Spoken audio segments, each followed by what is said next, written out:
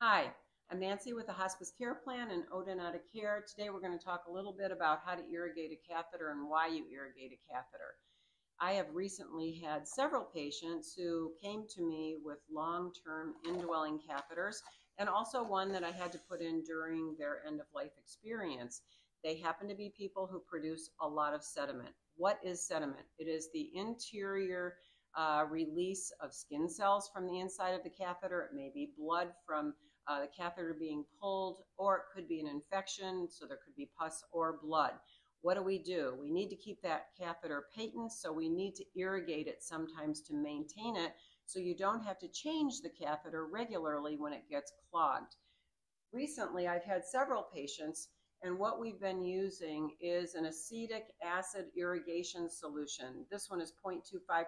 Generally, it's a 10% solution. This is in a thousand uh, milliliters and it's pre-measured and sterile. So that makes it a lot easier for those of us who are doing it. You're using a regular irrigation setup.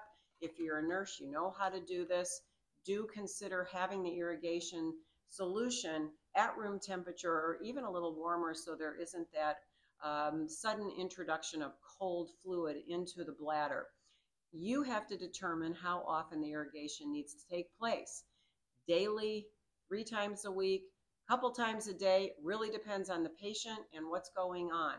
There may even be a need for a three-way catheter, so one of those channels can be used for irrigation, so you are breaking the system less often, which again is now introducing less options for uh, opportunity for infection.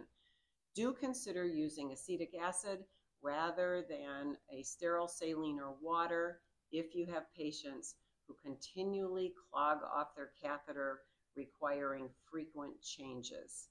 Thank you. Have a great day. Please ask us questions.